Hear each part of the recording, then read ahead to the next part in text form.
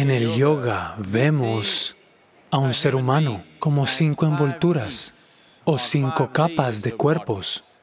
Estos son conocidos como Annamaya Kosha, Mano Maya Kosha, Prana Maya Kosha, Vijnana Maya Kosha y Ananda Maya Kosha. Traducido al español, significaría Anamaya Kosha significa cuerpo de comida. El cuerpo, el cuerpo físico que tienes, es solo la acumulación de comida que has comido. Es algo que recoges. Mano Maya Kosha significa una capa de inteligencia que es capaz de acumular conocimiento, pero hay una capa de inteligencia. No está aquí o aquí o aquí o en alguna parte. Cada célula del cuerpo tiene su propia inteligencia, ¿sí o no? Así que la inteligencia está por todas partes. La acumulación de conocimiento está por todas partes.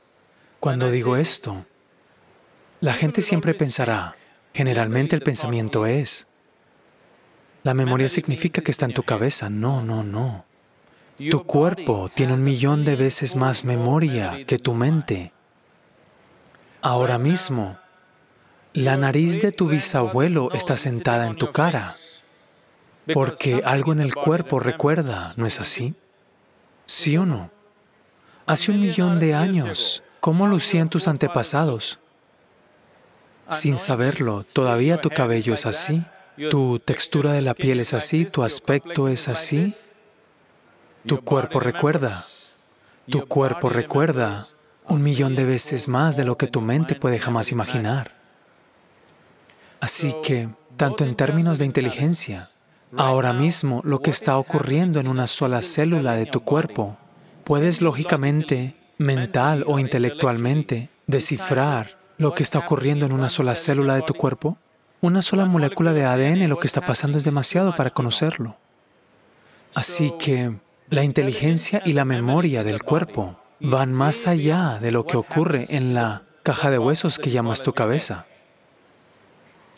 Es solo que esta parte de tu inteligencia puede generar pensamiento.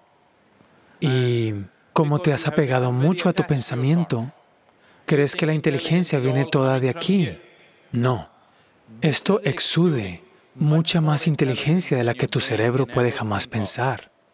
Esta es la ciencia del yoga. Una dimensión de ello. Permíteme hablar de un aspecto muy pequeño de esto, Esencialmente, un aspecto del yoga significa comprender la geometría de la existencia. Cuando digo la geometría de la existencia, por ejemplo, este sistema solar está funcionando de la manera en que está funcionando. Una cosa es que toda esta vida, incluyéndote a ti mismo, todos ustedes funcionan con energía solar, ¿no es así? Todo, toda la vida en este planeta funciona con energía solar, ¿no es así? Yo estaba, ya sabes, hace como unas seis semanas, estaba en un helicóptero abierto. Estábamos solo a unos 1500 metros. Todo el mundo sabe que cada 150 metros baja tanta temperatura, así que te preparas para eso y vas. Pero de repente se puso extremadamente frío. Tan frío que tuvimos que bajar. Así que estábamos solo discutiendo porque llegó la nubosidad, de repente se puso tan frío que simplemente no pudimos quedarnos allí. Así que estamos solo discutiendo si el sol desaparece, cuánto tiempo tardaría la Tierra en congelarse.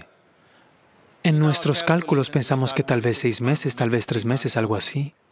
Entonces cuando bajé simplemente lo verifiqué. En 18 horas, todos los océanos del planeta serían roca sólida congelada. Se congelarían en hielo sólido en tan solo 18 horas. Así que sabes claramente que el Sol es la fuente básica de energía. Todo en este planeta funciona con energía solar.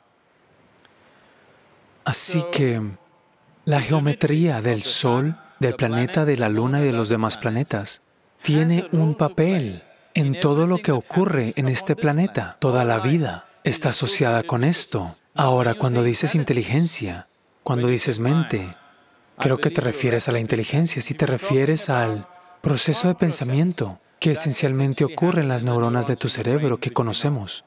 Pero si estás hablando de la mente como una inteligencia, está simplemente por todas partes en este cuerpo y en todas partes en la existencia. La misma tierra sobre la que caminas es tremendamente inteligente. ¿Has visto alguna vez que hayas plantado un árbol de mango y por error y equivocación produjera un coco? ¿Alguna vez hizo eso? Nunca ha sucedido algo así. Su vecino está produciendo cocos.